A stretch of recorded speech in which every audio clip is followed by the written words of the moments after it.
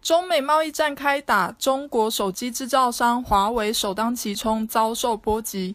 美国最大电子产品零售商百思买将终止与中国厂商华为的合作关系，未来几周之内，百思买就会停止销售华为的手机。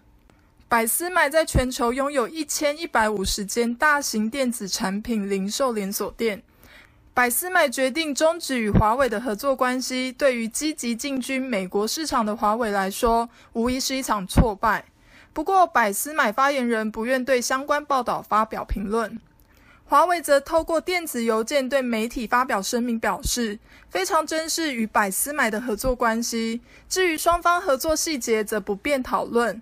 声明表示，华为目前透过多家甚具规模的消费电子产品零售商，在美国销售旗下产品，而且华为产品均符合业界的最高标准、隐私以及工程标准。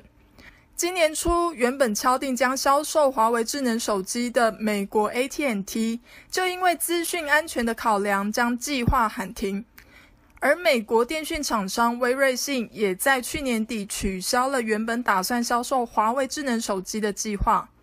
在一系列的挫败阴影中，华为董事会昨天也完成了换届选举，由董事梁华出任新一届董事会董事长，原董事长孙亚芳辞任董事长，也未进入董事会。公司创始人任正非依然担任董事以及公司的 CEO。值得注意的是，本次换届最大的变化是取消了华为开始于二零一一年的轮值 CEO 制度，引发外界关注。